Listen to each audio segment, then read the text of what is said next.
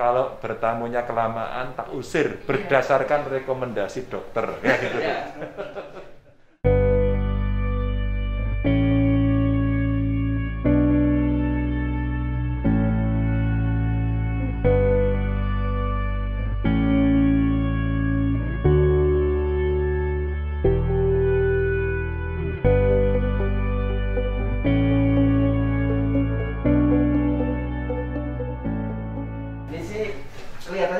Karikatur Pak. Kelihatannya.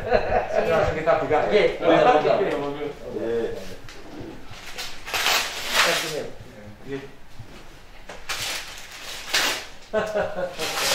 Tidak besar Pak Ganjar Bukan berarti Saya sudah punya dua yang mirip kebetulan.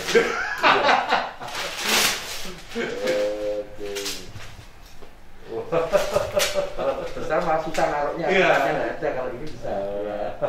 Iya, yang kemarin kok juga warnanya hijau ya? Dan di rumah itu ada lukisan gitu dari Mas Gibran kemarin sama Pak, tapi saya jadi rodeo naik naik virusnya gitu sambil bawa suntikan nih. Bos Ini menghadapi corona. Di belakang masih ada plakatnya Bapak Yang di Oh. belakang Nah, Rizik itu Oh, survivor COVID. Oke. Ya ya ya ya.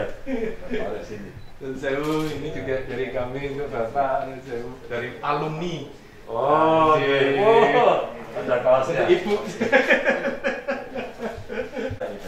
Moga, moga Bapak Saya sampai jualan kaos loh, Pak. Jualan Saya kaos Tiap kali ada Pak Ganjar di TV yang saya lihat kaosnya. Kaosnya Boleh. ganti-ganti terus ini Bapak itu sebagian keuntungannya Hmm. kita donasikan untuk mereka yang korban atau apa pun lah.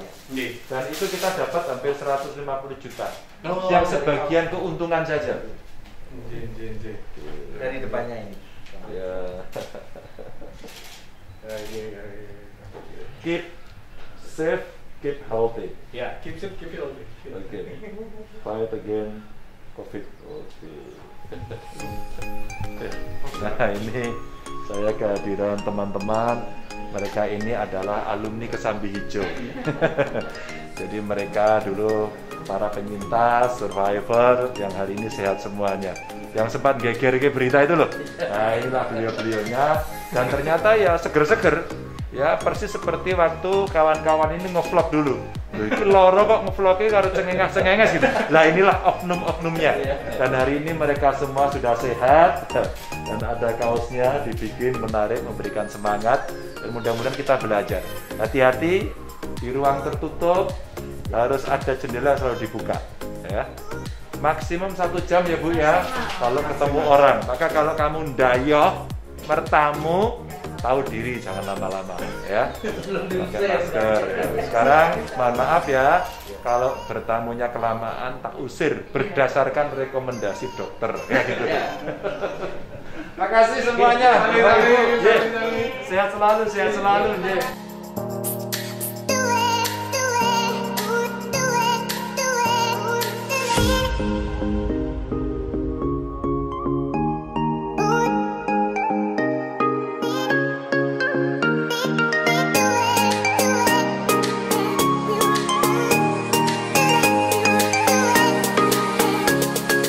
Jadi kan kita ingin mengungkapkan ungkapan terima kasih kami semua.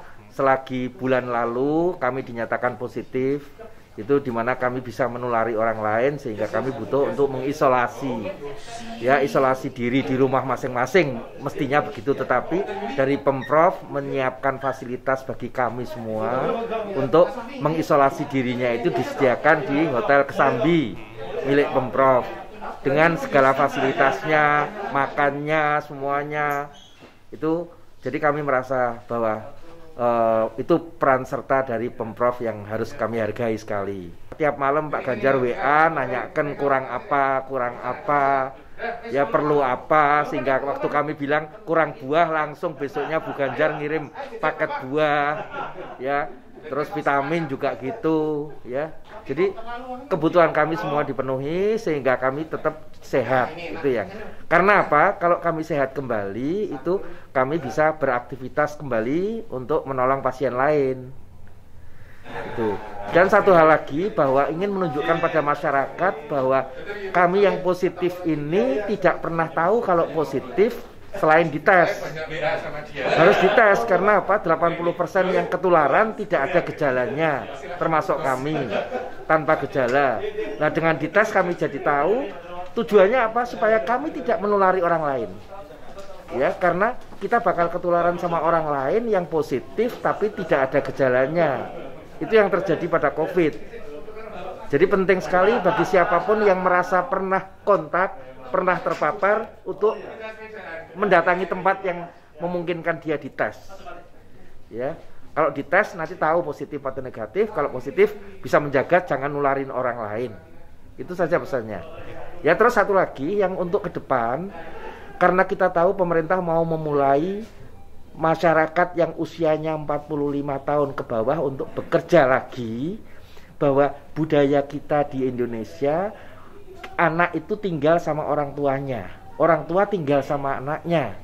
Jadi itu boleh dilakukan tetapi anak-anak yang keluar rumah mulai bekerja lagi tadi jangan sampai pulang rumah nulari orang tuanya. Jadi di rumah pun harus ada aturan bagaimana si anak yang keluar rumah ini jangan berkontak menjaga jarak tetap dengan orang tua. Karena orang tua itu gampang sakit dan kalau sakit gampang masuk rumah sakit. Kalau sampai masuk rumah sakit karena covid gampang mati. Itu orang tua faktanya seperti itu Terima kasih.